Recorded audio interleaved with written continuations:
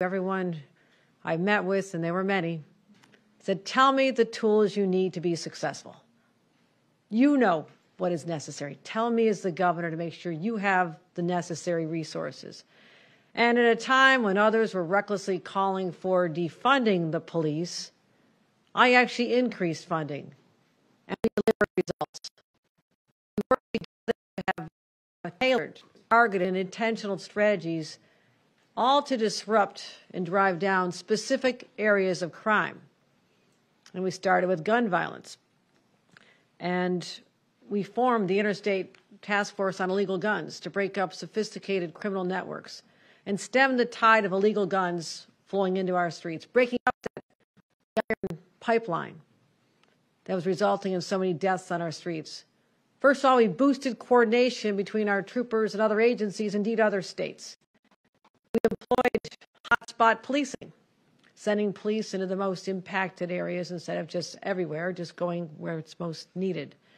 We fought for record funding for the Gun Involved Elimination Initiative, which supports law enforcement statewide. And all of that worked. And the latest evidence is right here on this table. And I want to call out, and you'll understand why. Great leaders we have in this room. Our new superintendent, Superintendent James, Basil Seggos. You might be wondering why we have the commissioner of DEC here, and you'll soon be aware and all the agency law enforcement who are joining us here today. What you see are two illegal rifles, an AR-15 and pistol components, counterfeit money, and 3D printers, all seized by Troop G's Special Investigations Unit just this past Friday night. This is an ordinary Friday night, right over in Rensselaer County, just 20 minutes from where we are. And I want to recognize the DEC Forest Rangers who first responded to the complaint. They did a thorough investigation and determined that state police needed to be involved.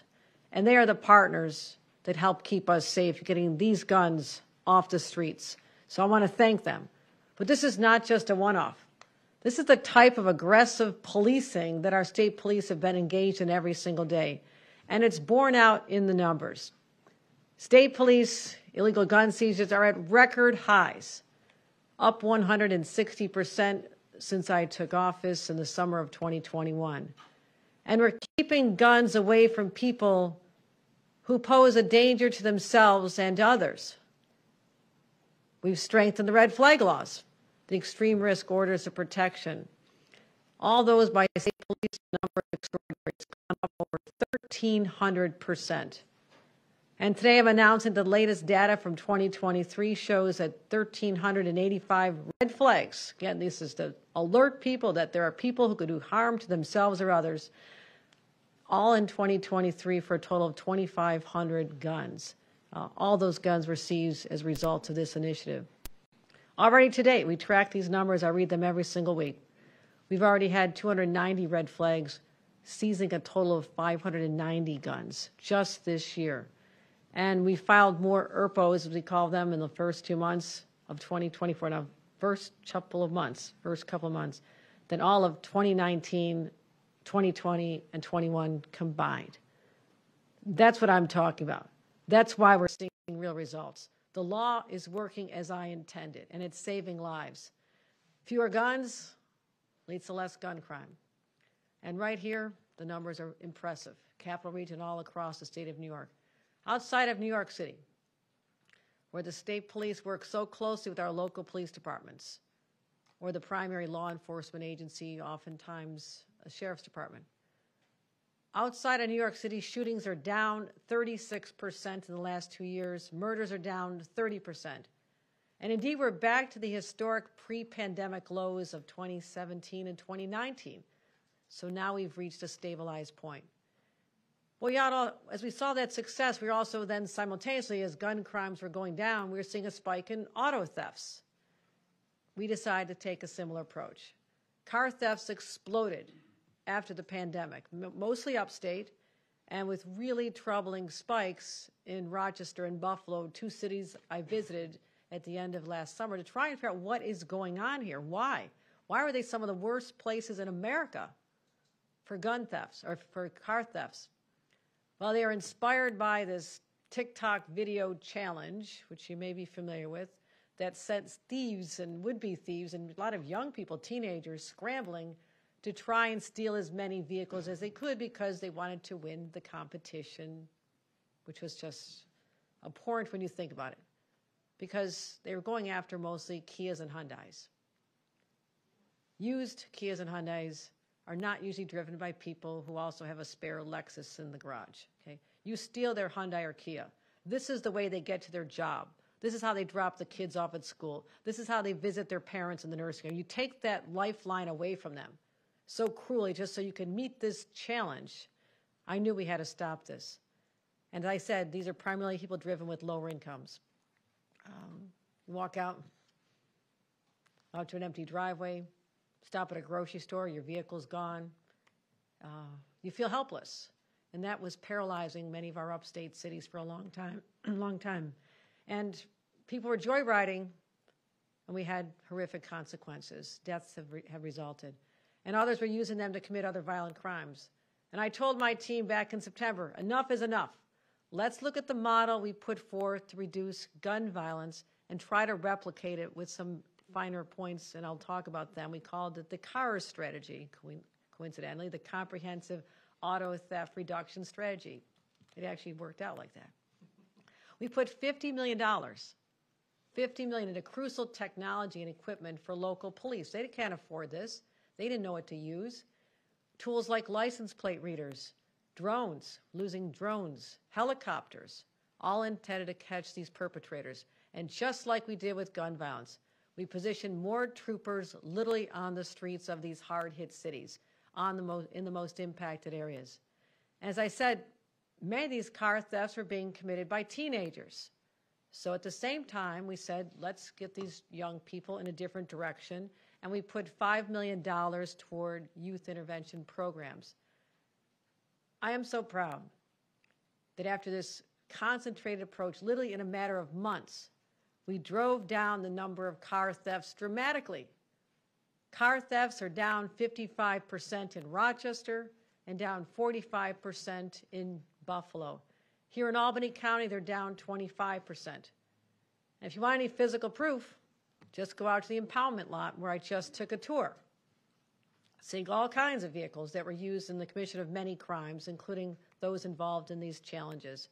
And so there's been car impounds related to auto theft are up, up nearly a 20% increase. So here's what we're talking about. We see a spike in a certain area of crimes.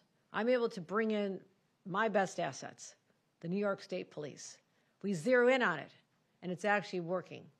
So now our next challenge is retail theft, something that many would think should be left to the locals, except just like gun seizures, just like car thefts, sometimes our locals need some extra help and expertise. That's how I want to deploy our state police with the same precision and the same purpose.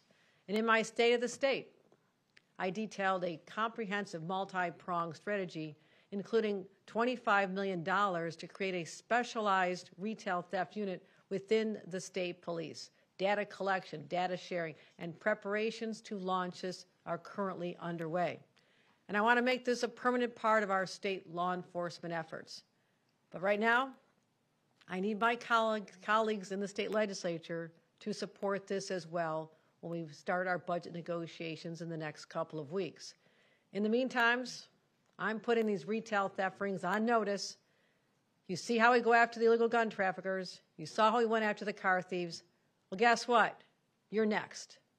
You're next. And as I said all along, I'll give all the state police every tool they need to protect New Yorkers. Our operational budget here has increased over 22% since I took office. But it's also, it's not just about getting people the best technology, the best crime fighting tools. It's also about investing in the people of the New York State Police. Because without them, these dedicated public servants who put their lives on the line every single day, none of this would work. None of it.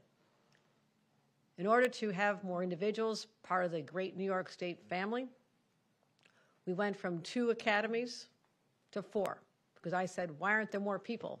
Why aren't we increasing the ranks? And they said, we don't have enough academies. We don't have enough graduates. I said, well, then double it double it. Well, we don't have enough space. Find the space. It's a big state. And they got it done. And I speak at all the graduations. So, yes, I will now go to four graduations a year instead of two, but I'm proud to do that. And we've also increased the headcount by 750 positions and are truly promoting the very best and the very brightest within our ranks. And today, Superintendent James will announce the promotion of nine troopers from the ranks of captain to lieutenant colonel. And one of them is Lieutenant Trinae Young, who is with us here today. Can you wave your hand? There she is. There she is. With her promotion, Lieutenant Young becomes the very first African American woman to hold the rank of captain within the New York State Police. Let's give her a round of applause.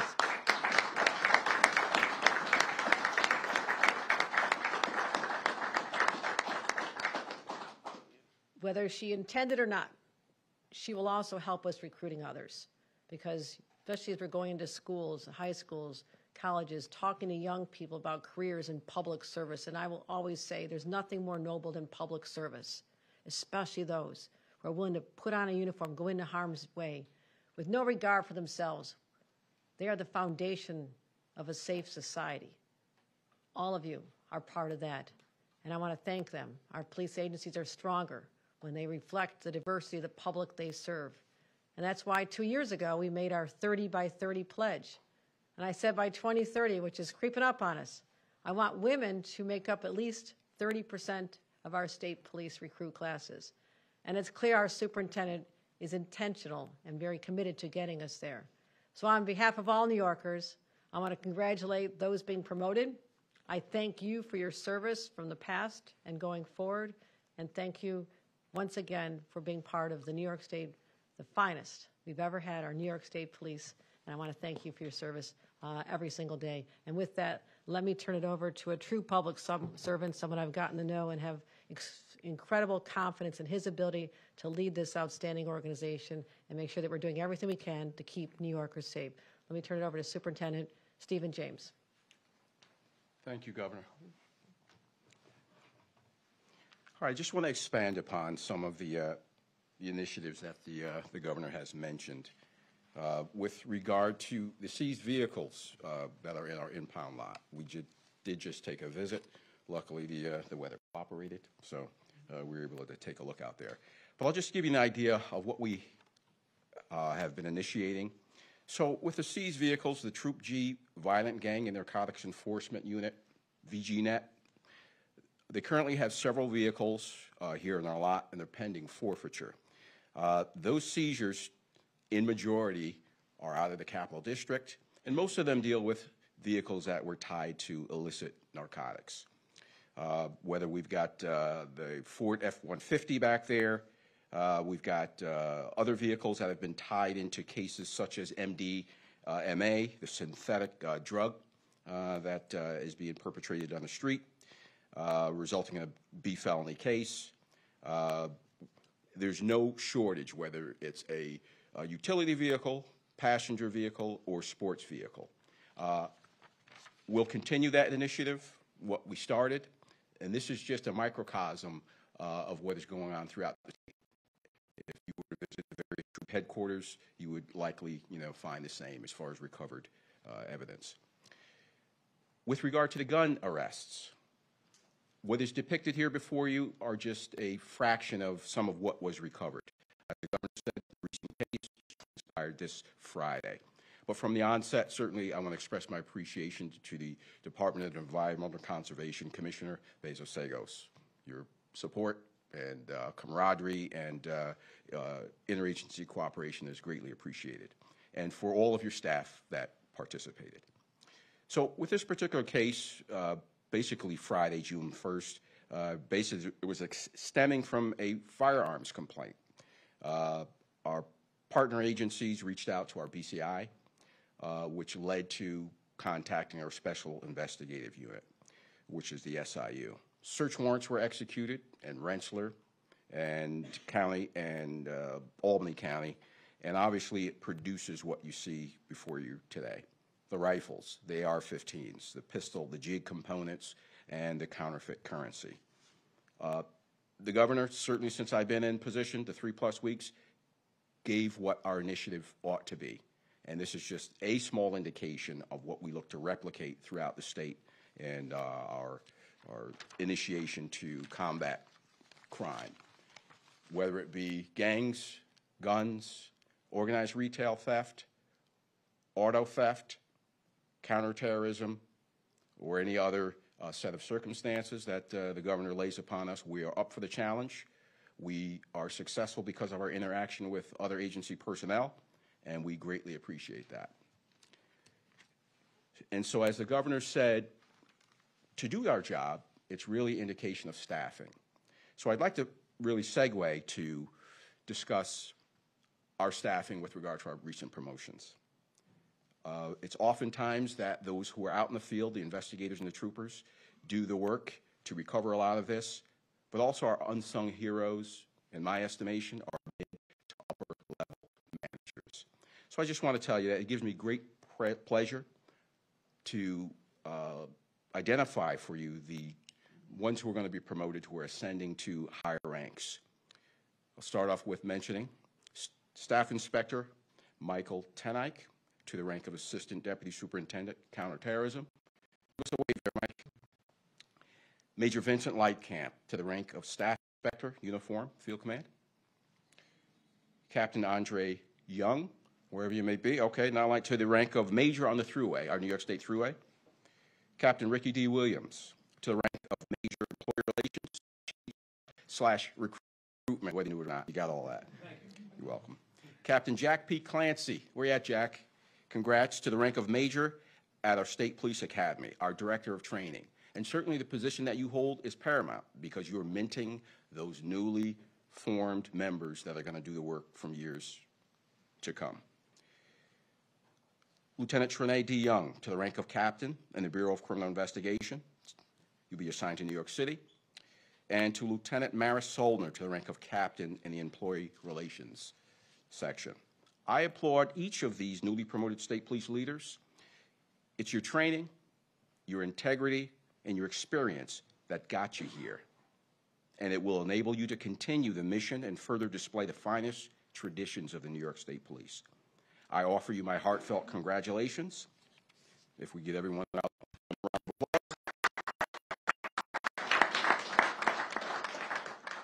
But I would be remiss if I didn't go further. So I would like to speak specifically to soon to be Captain Trene Young. Trene D. Was born and raised in the Bronx, New York. She graduated from Lehman College with a bachelor's degree in political science, and she continued her education at John Jay, where she received a master's degree in criminal justice. She began her law enforcement career in 2007, and she entered the New York State Police Academy. After graduating from the academy, she spent most of her career working in northern Westchester County on the good old sergeant stationed at Troop L, Farmingdale. In 2021, she became the first African American female commissioned officer with a permanent rank of then lieutenant within the New York State Police. She currently supervises the Violent Gang and Narcotics Enforcement Team and the Community Stabilization Team, which is essential uh, to our success, down in Westchester, Putnam, Dutchess, and Columbia County. So our official promotional ceremony will transpire later this month. But obviously, you are clearly to be recognized in the 107 year history of the New York State Police to be the first African American female. It deserves acknowledgement and recognition. And I'm so very proud of you, and I'm pleased to be a part of this living history. I'm confident that this young trailblazer, young, Trene Young, you will be marking history in your life and for ours for some time to come. So congratulations, Trene. Congratulations to all of our promotees. Keep up the proud tradition of success and excellence among the long gray line of the New York State Police. To all of you, a job well done. Thank you. Yes. I would like to invite all the promotees up so that we can take photos.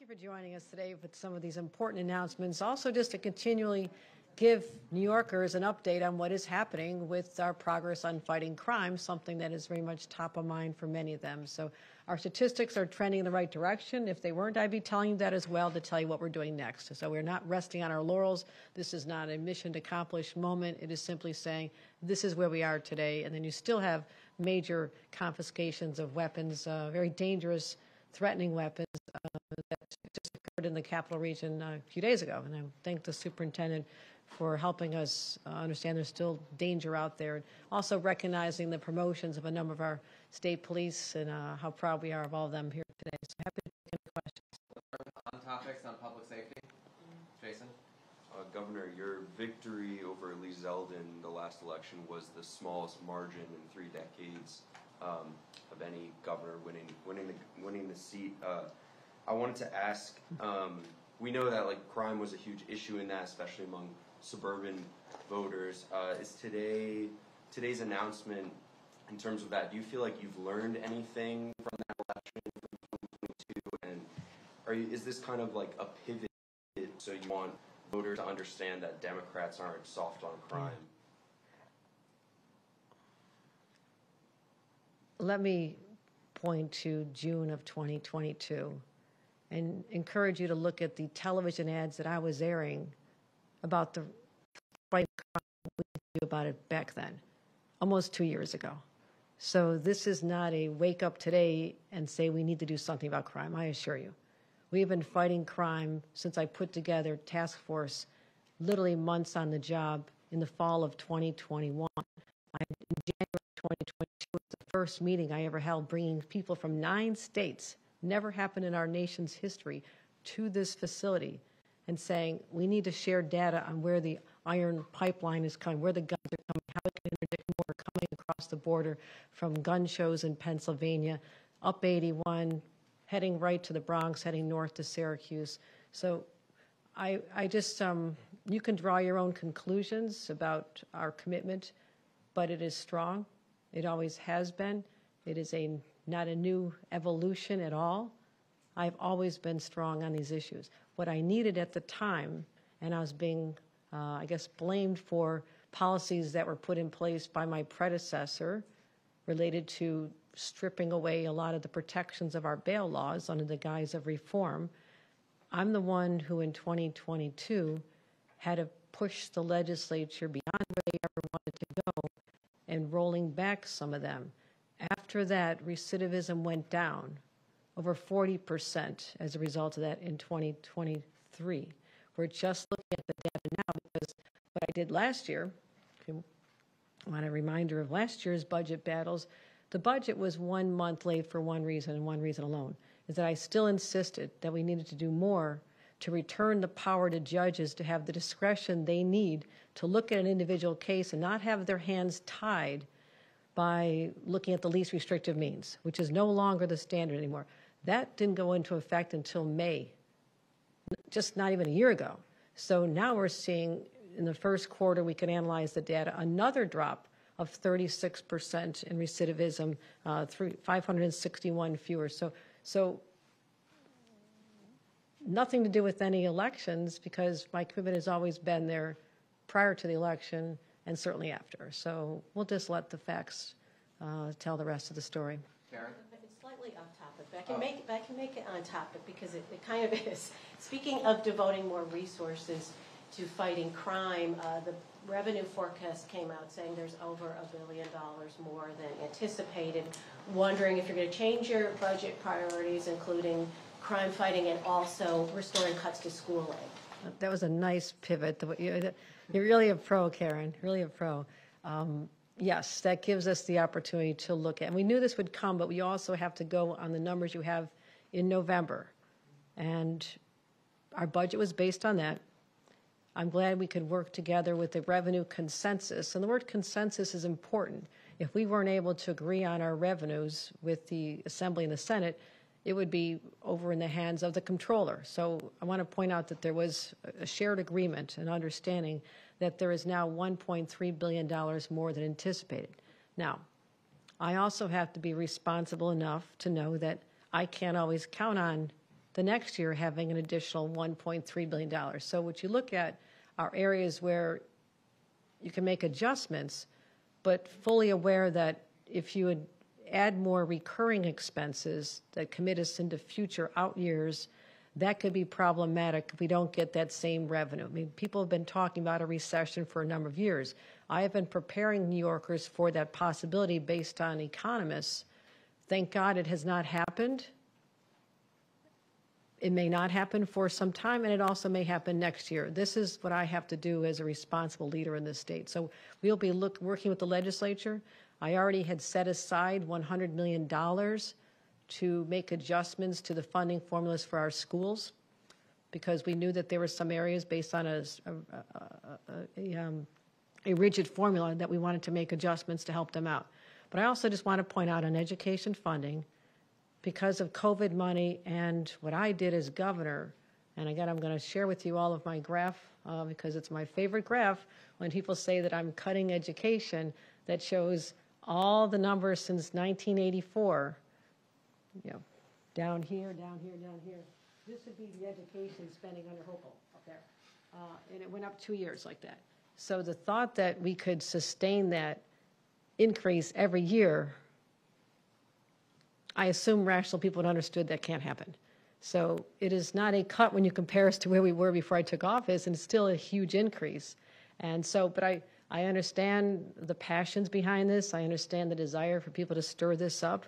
Uh, but I also think that the concept of having a plan where you hold harmless, that regardless if your population goes down 50%, that you still get the same money you got since the year before, a formula that goes back to 2008. I'm just asking everybody to look at this. Not as much fun as it is to go out and rally against something as this is horrible. This is going to destroy our state as we know it. I'm going to be the one who can say, let's make the adjustments where necessary. Make sure that school districts that don't have the right resources are taken care of, but also saying, do we really going to be locked into a formula just because it has been done that way for a long time? And I'll never accept that as a satisfactory answer on how I do anything in state government. When someone says it's always been done this way, that's the worst thing you can tell me, because I'm going to say, explain to me that it still makes sense today. That's a long answer to your question that was pseudo on crime, but um, I think I got to the answer. All right. Okay, still on topic about crime. On Yes, retail Mark, go ahead, and then, and then you go on. Governor, um, is there, was there an implication in your, when you first came out that the previous administration do, didn't do enough on crime? No, what I said was, did more than- well, I would say that we're talking about the bail laws. Absolutely. I mean, the bail laws were um, changed dramatically back in 2019 in a way that took away the discretion that judges once had to look at the, the body of evidence, look at individual history, look at prior records. And so I have worked hard, and we talked about that spike in crime um, that resulted, and the recidivism rates that have been splashed in some newspapers recently. Um, those all go back before my reforms, and I want that understood that that is not the status today. That is under the previous laws. The data was from 2020 to 2022, and I ask people to now take a look at what happened after I held up the budget and got the legislature to understand that we have a crime wave going on right now, and I cannot have people that committed a crime being turned out again because we don't have the standards in place. Hate crimes were not even covered as being bail eligible. I had to force that in, and I have to tell you that was actually difficult a year ago, and I got it done. Uh, giving more discretion, looking at harm on harm, which means that if someone causes a second case of harm to an individual or property, that you can look at that bail as an option. Now, what I'm going to get out there and say over and over, it is becoming clearer to me that we need judges trained in the changes that we made because I've seen recent evidence that judges are still using the past standards that no longer exist in some very high profile cases in New York City. And I'll leave it at that. So we are meeting with the Office of Court Administration, meeting with our DAs. We're having a lot of conversations. I just met with the mayor and his team about crime and subway crime because I want to make sure that everything we did is being implemented now by the DAs and the judges. The laws were changed for the better, in my opinion. So the, the, the, uh, everything's in place to continue to drive down crime. I just need the cooperation of our judges particularly. Vaughn? Governor, Vaughn? on retail theft, um, and maybe the acting superintendent Can I do would like to hop in here. Um, so, can you explain to what degree the focus of your strategy is on these organized groups that are uh, engaging in this activity? And also, how to address recidivism of repeat uh, retail theft offenders? Does that include adjustments to the bail? We are looking at a number of initiatives in our budget. I proposed quite a bit in my retail theft package, and some are um, less controversial, I suppose, like 20, $45 million. Uh, Also assistance for, well, 45, $25 million for a state police unit that's specialized, that can, again, uh, deploy people where we need them in particular.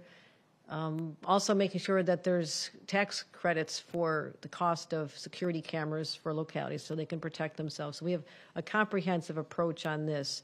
Uh, The organized crime, this is where I also, we're working with the U.S. Attorney's offices because these people are more likely to be um, using interstate commerce going across count, uh, state lines, especially when you're reselling the merchandise on um, platforms like eBay this now gets out of just the jurisdiction of local governments, but also brings in the federal government. So we've had conversations about using federal laws as well. So uh, there are so many different ways to hit this, but it has to stop. Just like we saw a spike in gun violence and people said it'll probably never go down. Guess what? It went down. It went down. People thought that how do you get your arms around those thefts of vehicles, the Hyundais, the Kias, especially in our upstate cities? We got it down. We know how to do this. And the money, the resources, the intentional focus, the unrelenting questioning that I have every single week, I'm having meetings saying, okay, show me the numbers. Do we get down? How many people? I really get granular with our law enforcement to make sure that it's being effective. So, uh, is there anything else you wanted to add to the question, Superintendent? Uh, Yes, thank you, Governor. With regard to the question with organization, I- I put that like this, with retail theft. The counties have, the counties have the luxury of focusing on their geographical boundaries. I don't have that luxury. I've got the entire state. So with regard to organized retail theft, we will use intel, we'll do trend analysis, and we are sharing the information to other agencies so that we can bridge that gap in that regard. We are putting uh, more resources on, uh, in the field. Some you see, some you will not see. But that is how we uh, really will uh, tamp this down. With regard to recidivism, I don't have the luxury to sit and wait and throw my hands up.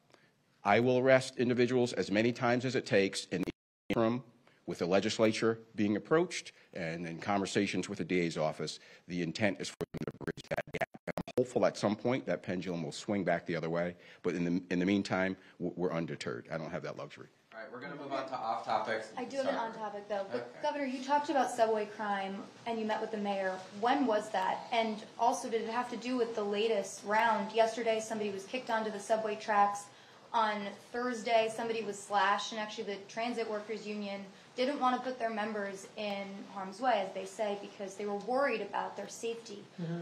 The mayor has asked you to put more cops on the subway to repopulate that subway safety plan because he says it ran out of funding. Will you grant that request in this budget? What I will say is there's many ways that the state can even ramp up more support for uh, protection of citizens and commuters on the subway. We're going to be doing probably an event on Wednesday, so if you can hold tight, we're going to be making some announcements. We had a preliminary meeting with the mayor, uh, the uh, the chief of uh, the transit police, uh, the MTA leadership. We we just had a meeting uh, a couple days ago, and to talk about how we can pull together resources. I have man and woman power as well. I have people I can deploy in different places. So it doesn't necessarily mean that I have to pay for this entity. I can bring in people doing this. So we literally just had another meeting early this morning on this. So I will tell you this is very much top of mind. How we, you know, statistically, I can tell you things are not as bad as they've been. That doesn't help anybody feel better. And I know that. Seeing more police on the platform, more cameras, as you know, I am the one who said that every single car has to have cameras on it. And because I kept pushing and not taking no for an answer, or that we can't do it for a few years, it'll all be done by the end of this year. But we have over 2,000 trains that have cameras on them. And that has been very helpful in solving crimes as well as the platforms. And, and I want every, make sure that every conductor's booth area has cameras as well. So this is just a sampling of what has been going on, ongoing. These are not new conversations. We're always in communication with the mayor, NYPD, MTA about but about passenger and employee safety. But give us a couple of days because we're going to be announcing that we have uh, some more strat- uh, uh, strategies around this as well. So thank you. Would you feel more safe with more cops on the subway system? We will make people feel more safe with police, with uh, more police on the subway station. Yes, people people want to see that. They've been asking for it. We're going to give that. We're going to see more people on the platform. The, the NYPD just surged up 1,000 people. The change from January to February, in terms of our, we survey cus- customer attitude and um, um, their sense of security all the time. In one month, with that surge, it has made a difference. So they are a deterrent, whether they're NYPD or whether they're state resources complementing them. And also another part of it, and we'll talk about this some more. Avi's going to say wait till Wednesday, but but there's but there's also a, a lot involved in uh, people dealing with mental health crises on the subway. And so when you talk to the chief of the transit police, he would tell you that 80% of the problems or more are stemmed from that situation. So that's where we talk about, again, more state resources, amplifying what we've done. My budget requests more in this. I've already been dedicating a lot of effort to this with the SOS teams. I did a press event on this the other day. Don't discount the effect of programs like that. It's, it's what we have to convince people to leave the subway. In some cases, uh, when it's a really challenging situation, we have to make sure we're protecting public safety first. So many different ways we're hitting it, but I'll tell you, we are laser laser focused on this. All right, I've got time for like one off topic. Elise in the back. Some cannabis farmers say they are struggling financially due to the delayed rollout of the recreational market. Um, is and they're asking for funding and in the state budget. This is something you would consider. We're looking at all kinds of ways we can help our farmers. Uh, they are really the collateral damage to partially, well, largely the lawsuits that stemmed our ability to move forward for almost a year. Uh, two different sets of lawsuits, temporary restraining orders, and so they anticipated that there'd be a market they'd be selling product to. We we thought there would be. Uh, at some point, this will level out, but it, I'm not satisfied with the pace at all. And I'm doing even more every single day to try and help uh, everybody affected by this. Part of it is the event we did a couple days ago with uh, not just farmers, but also focusing on those retail shops, shops that have already stood up legally and them having to deal with the illegal competition and how we're trying to get changes in the state law to give more power to localities, such as the ability to padlock an illegal entity and for social media platforms that give directions that you look on for direction aren't promoting illegal activity. And that's what's happening right now. They sometimes you don't even see the, the listing of the legal store. You see the, all the illegal operations, the bad actors surrounding them. So there's a lot of ways we have to get this back on its feet, move forward more quickly. I will not rest until this is done. But also, we absolutely have to take care of uh, take care of our farmers because they've struggled an awful lot. So thank you, everybody. Really appreciate it. Supreme Court ruled that states can't kick Trump or former president off the ballot. What do you think of that decision? Do you agree with that ruling? Donald Trump will be defeated, no matter whether he's no matter which states he appears on. It's not a problem. Um, I, I admire the states that stepped up to try to implement based on their constitution, their reading of it, but it doesn't matter. It doesn't matter. Donald Trump will lose. Thank you.